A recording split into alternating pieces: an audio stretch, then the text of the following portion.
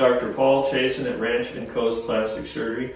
One of the common maneuvers we do after rhinoplasty, especially with someone who has a fairly substantial change to their nose, is night taping. Now, if you look at Jessica's pictures before and 11 days later, it's a pretty substantial change to her nose. I always say that doing a nose is a lot like taking fabric from one couch and putting it on another couch. But the difference is that the skin will remodel. And what we're gonna try and do is get the skin to remodel to the new cartilage and bony framework. I want to show you how we do this. So I take a piece of this, what we call our nose tape, take about a five or six inch piece, and the idea is to tape this not to the tip, but the super tip. This is the area it always tends to blow up. So I'm holding this for about 10 seconds, and then I'm taping it to her cheek and I want to see the nose turning white. So one is usually sufficient. You see the slight indent there? And sometimes I do two.